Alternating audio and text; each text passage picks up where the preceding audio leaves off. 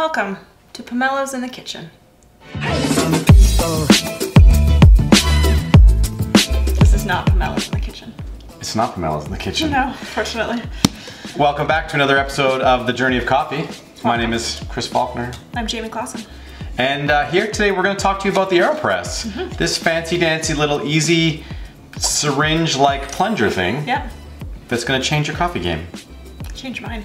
Did change yours? Yeah, this was like my first kind of non-French press brewer that I purchased. Yeah. I think that's the interesting thing about this being a very simple and relatively inexpensive. It's going to cost you about 40 bucks for that. Yeah. And you can get into good coffee. Very good coffee. So if you have the typical percolator you've had around forever, uh, or you just have coffee at work, this is a very inexpensive way to get into um, tasting coffee, picking up notes, and really just brewing coffee in general. Yeah. Great. And fun fact, it was invented by the guy, I think it's Aerobie. So it's a frisbee. The frisbee guy? It's not, no, it's not the frisbee, it's the one that's like, you know, the circle of plastic. Apparently flies better than a frisbee. oh, with like the hole in the center. Yeah. So he invented that, and then one of the best coffee brewers. Yeah. And so the cool Okay. part, I mean, I suppose for 40 bucks you get, you know, the uh, the plunger, the container. Uh, you get a little filter stand, plus more filters than this. Yeah. About 700, I think you get. Yeah. Stirring device. Filter holder, Filter holder. and a funnel. Yeah. A multi-purpose funnel. Yeah. A lot of really cool advantages to the AeroPress in general. It's very fast. Very fast. So the brew time is, is very short compared to having to uh, run your percolator or even like a French press per se, Like a minute fast. like a minute fast. Um, really easy way to make coffee when you travel, coffee for yourself. Camping, I take mine camping. Take it camping, yeah. Um, It's lightweight. it's very lightweight. Yeah. And even like storage. So once you put it all together. Oh, this one's. Like it really. It takes up that much room. Yeah. So you don't have to have some weird machine on your counter. The whole thing, I mean, even if you just take that off, that's 225 grams. Yeah. So barely anything, half a pound. So it can easily fit in your bag. The TSA is not gonna fight you or the Yeah. Canadian border, it's plastic. Um, you don't have, if you wanted to travel with a French press or something, you have glass or ceramics, they're, they're probably pretty dangerous to travel Yeah. with. You'd have to pack them. Yeah. And I have a feeling that this will probably outlive you. Yeah. It's gonna last forever. I think this is gonna last forever. So, but uh, let's try to make some coffee with it. yeah. So for uh, for the Aeropress, we're gonna do a couple of ways to do the Aeropress. There's a traditional way that will come in your Aeropress package. Yeah. Um, And the my personal favorite, the inverted method. yeah, the inverted method. So lots of cool ways. You probably saw us use this in the roasty video if you haven't. Um, if not, I'm not sure if we can link this stuff yet. I'm not sure if we're. Just go to our channel and find it. Just go to our channel can't. and subscribe while you're at it. Yeah. Uh, so we're gonna use Share some some Pallet coffee. Uh, this is a, the coffee that I picked up last time I was in Vancouver. Mm. Um, they were established in 2014, so relatively newish in the coffee realm.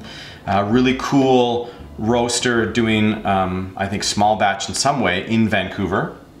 Uh, all about bringing, you know, coffee to the community, showing some coffee love, building long-lasting relationships. And I went to uh, one of their stores, beautiful, very like, you know, hip, modern coffee shop. So, um, super impressed. Brought back a couple of beans. This one is a, a Colombian, and uh, this one's an Ethiopian. So this one's a raspberry lemonade and apricot. Apricot. We're gonna try to get. This one's tropical fruit, smooth cocoa, and lingering finish. Yeah. Which one do you want to try first? I think I want a lingering finish. Let's do it. Handy dandy scale. This is why you need a scale, especially uh, if you haven't seen, check out our scale episode. And how much coffee are we're gonna use. 14 grams. Don't worry if it's like 13.9 or, But worry if it's 18. yeah, if it's 18, pull it out. Oh man, this is terrible. There we go. And you're gonna wanna use a, a fairly fine grind for this.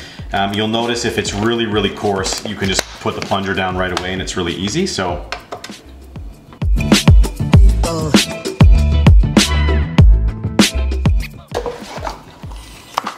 You, uh, get these paper filters with the AeroPress, which go in this little fancy dancy thing right here. It is really, really intuitive, I think. There's, there's little tabs, slides in at the end of the day. Make sure it's slid in, Yeah. because once you start plunging, if it's not, you will have a mess. And the deal is, you're definitely gonna want to wet that filter so that you have some, um, so that you get rid of that, that coffee flavor. So you can just put it inside of a vessel of any kind, pour some hot water over it. From here, you're gonna wanna put your coffee into the uh, AeroPress. Either by the funnel, or if you're using the funnel the way we are. You give it a shake, just distribute your grounds, just make sure it's kind of nice and flat in there so you have a good delivery system. And because we've used 14 grams, we are gonna use 200 grams of water.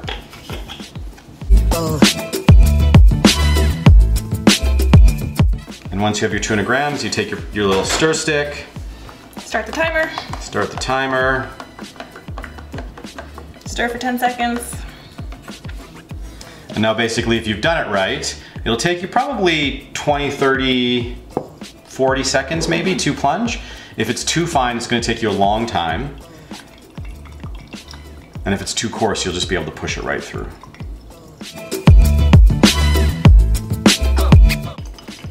Riveting television right here. There's a real satisfying plunger sound on the Yeah. AeroPress every single time. Then one of my favorite features of the AeroPress is how easy it is to clean. So now you can just take this off. Oh yeah, maybe put it in a bowl or something. So because all of the water is out of it, and then you just, and it's clean. It's basically clean, yeah. You can rinse that off, give it a bit of a wipe, and Yeah. just like that, there's no messy brew pot to clean. It was like a minute and five seconds. A minute and five seconds. Has a nice color to it.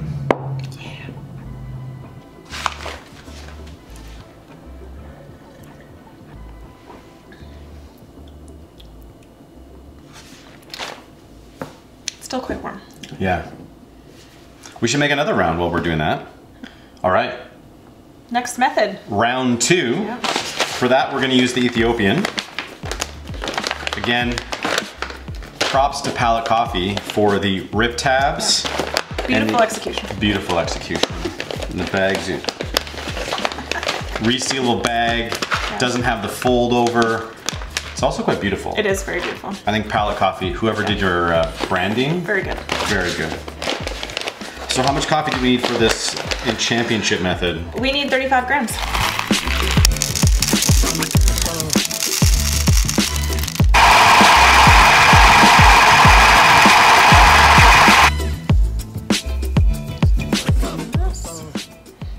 Handy dandy funnel is like really great for a lot of reasons. Flatten out your coffee. So you'll notice a fair amount more coffee in there compared to what we had before.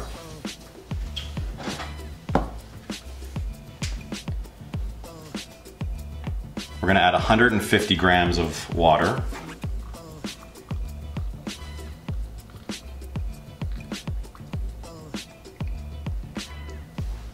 And then we're gonna stir this. You wanna agitate the coffee, obviously, to get it all hydrated, saturated. All wet.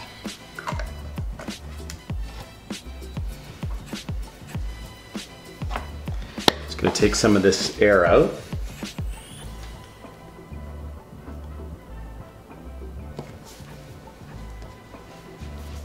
Let it sit for another minute. So at a minute and five, now you flip it back over. Put it into your drinking vessel. And again, all things considered, you now plunge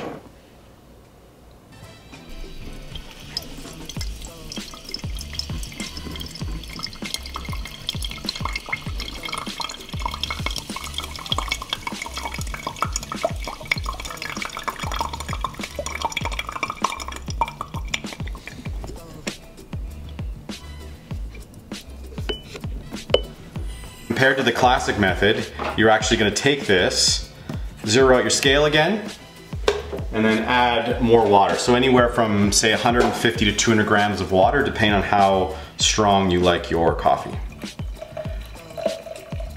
So we'll just add 150 grams. Ooh, nice. 152 grams actually. And there you're left with a beautiful, Yeah. Beautiful coffee. What do you think? So this is raspberry lemonade and apricot I'm not sure I get any of those. on the nose. On the nose, at least.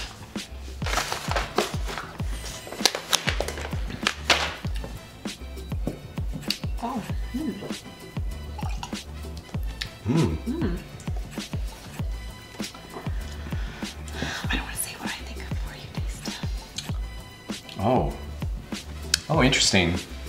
I, I do get the Beyonce, and by Beyonce I mean lemonade. Lemonade. See, I get the raspberries. Oh. I've never tasted raspberries in coffee before. Let's bring in the uh, the Colombian because now that it's a bit it's a bit more relaxed or a bit more uh, chill, I suppose. Mm -hmm. It's chilled out a bit.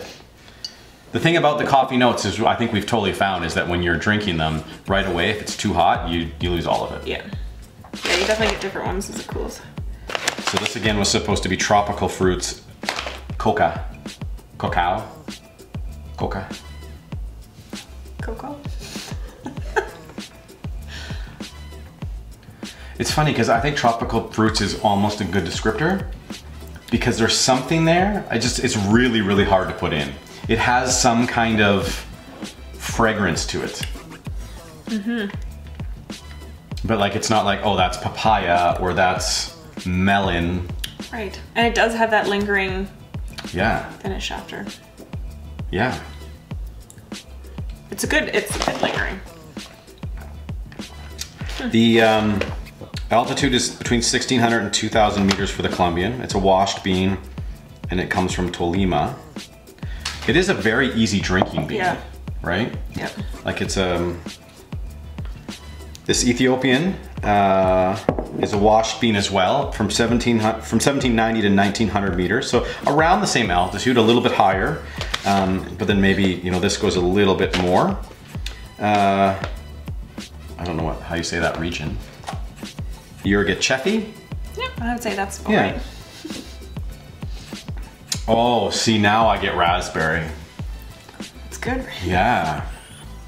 It's really interesting how I feel it can change. You can really, if you really think Yeah. about it, your first sip, let it come back. But going to this, which is a little bit harder to distinguish, Yeah, that's all raspberries. that's all raspberry. And then I get a Beyonce finish now. I don't get the apricot, but I don't, I don't really, I feel like I'm not, I need more time with apricots. Wow. Yeah. So good. Raspberries.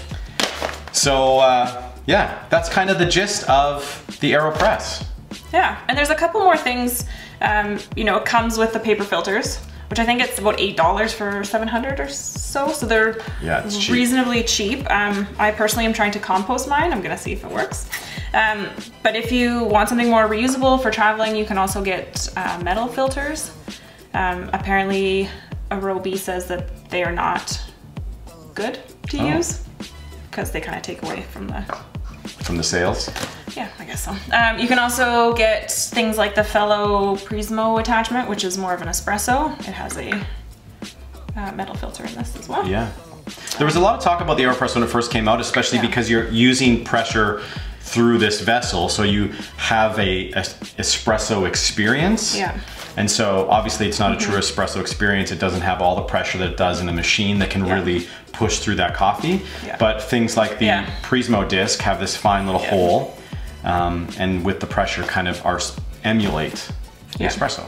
Yeah, and you can, um, I know we talked about how it's kind of more of a single cup kind of brewing method, but I know when I've been with some friends, I'll often make of more of a concentrate, so higher concentrate of grounds to water, and then split it between two cups and then add hot water Yeah. after just for And we, efficiency, I guess. yeah, we've taken this uh, camping and running and everything else. Yeah. So uh, last year, a bunch of us did the Skyline Trail, and we brought this and we pre-ground coffee. And obviously, that's not sort of ideal if you want the freshest of coffee. But if you're going camping for a couple days, or you know, I mean, at the end of the day, do you want the do you need the freshest coffee when you're camping?